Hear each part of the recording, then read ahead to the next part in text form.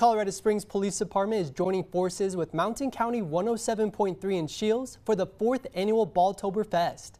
Today, community members were invited to stop by the Scheels in Colorado Springs and donate a new sports ball to support CSPD's Play COS program, which provides patrol officers with sports balls to keep in their cruisers to give out to kids and teens during their shifts.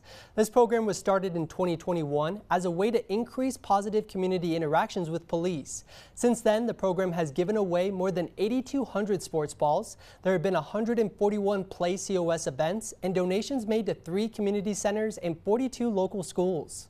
We're trying to build up the trust within the community, and one of the things with sports is a great way. It's a diverse way to interact with a group of kids and group of people. And so one of the things was was we had a sports ball in every cruiser. And so anytime officers were when they're going call to call to call, they found a break during their paperwork or they saw a kid playing in the park, they were able to spend a couple minutes, interact with the kid, just have some fun, just kind of connect, and then afterwards they give that sports ball to that kid.